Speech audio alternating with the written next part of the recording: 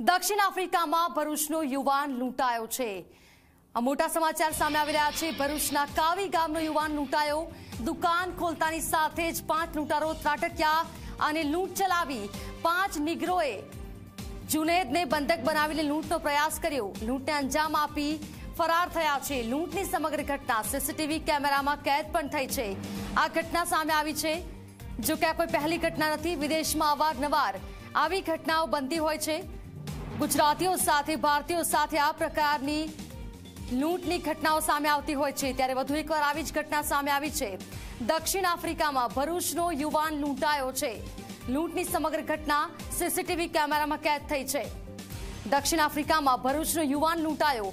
દુકાન ખોલતાની સાથે જ પાંચથી છ જેટલા લોકો આવી ગયા અને લૂંટને અંજામ આપવામાં આવ્યો. જો કે આ અગાઉ પણ કેટલીક ઘટનાઓ સામે આવી ચૂકી છે. અનેક ઘટનાઓ એવી પણ બની ચૂકી છે જેમાં મોતને ઘાટ ઉતારે અને ત્યારબાદ સમગ્ર સામાન લૂંટીને ફરાર થઈ જાય.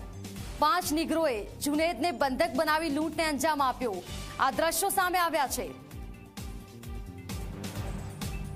દુકાનદારને બંધક બનાવી લૂંટ ચલાવવામાં આવી છે.